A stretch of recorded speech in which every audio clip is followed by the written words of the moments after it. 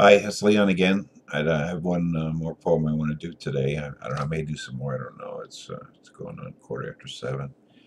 I may do another one. I don't know. But at any at any rate, this is a poem. Uh, it's a political poem, and uh, I hope you're not offended by it. But if you are, well, there's nothing I can do about that. But it's called Decadence in the West. So said the Robin, and it goes like this. Decadence oozes from our liquid crystal screens, and Islam is taken aback. It's Muhammad that we want, one of them screams. Get out of our country, get out of Syria, get out of Jordan and Egypt and Iran and Iraq.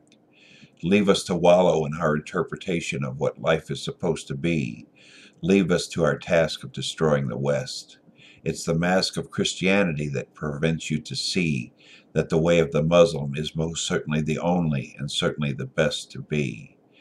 Take your unholy decadence and be away from us all. Let us face Mecca. Let us have our jihad, our honor killings. Let us keep our women subservient.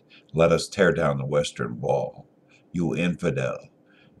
And it's your existence that will never stand, one of them says.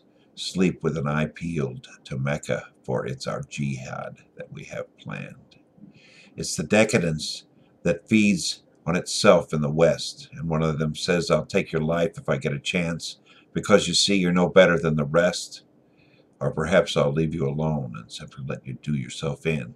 Perhaps that would be the best. And the decadence oozes from our liquid crystal screens, our giant windows to the world brings us the jihad in our living rooms. Perhaps they're right. Perhaps it's our own immorality that will be our undoing as we watch intently with silent screams. It's decadence feeding on decadence, decadence in the Western world. From their perspective, could it be ourselves that we've been screwing? I think not. What we have here is a failure to communicate. Despite their hatred, we had no ill will.